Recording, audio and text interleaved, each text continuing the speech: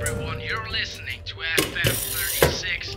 It's sunny outside. I'm feeling wonderful. I hope you do too. And if not, What a night. Today was a fucking mess, you know?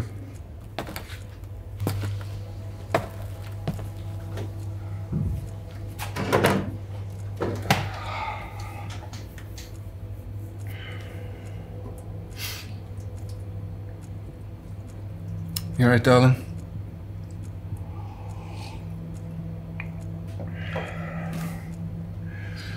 I'm sorry about earlier.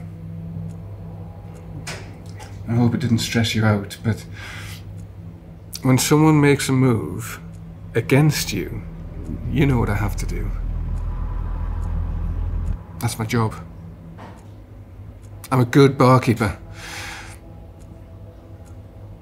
Can smell scumbags from 10 feet away. A bar like mine is no place for filth like them. Well, at least you're still with me. And here I am, talking to you about all the shit that those dirtbags told me about how they fucked up their lives. It's not like I don't see it either. I'm just a bar guy.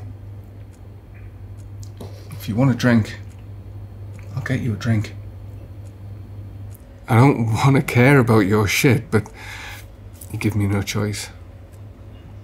Telling me about you and your filthy lives.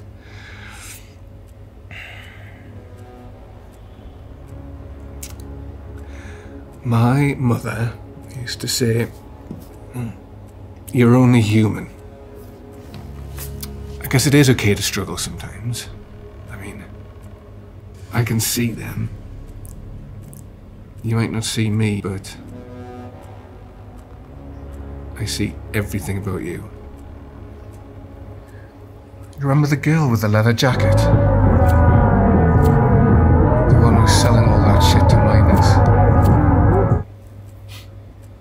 Where that's gotten her now. I thought she had a chance to get better, but she turned out just like everyone else.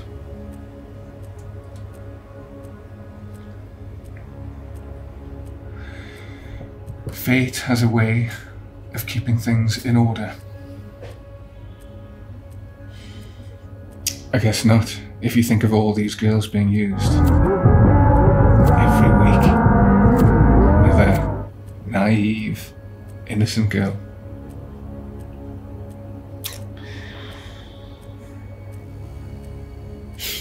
At least it won't happen again.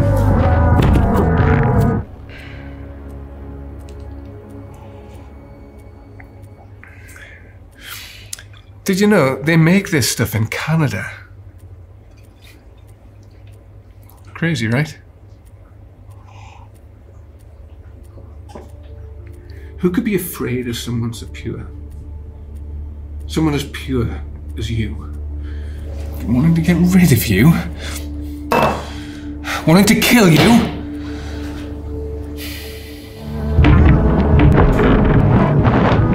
You're the only good one here.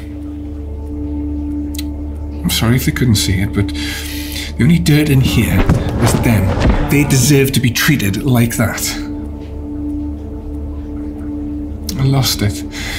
It, it needed to happen, but I, I told you to stay hidden. But you shouldn't have come out, Stacy.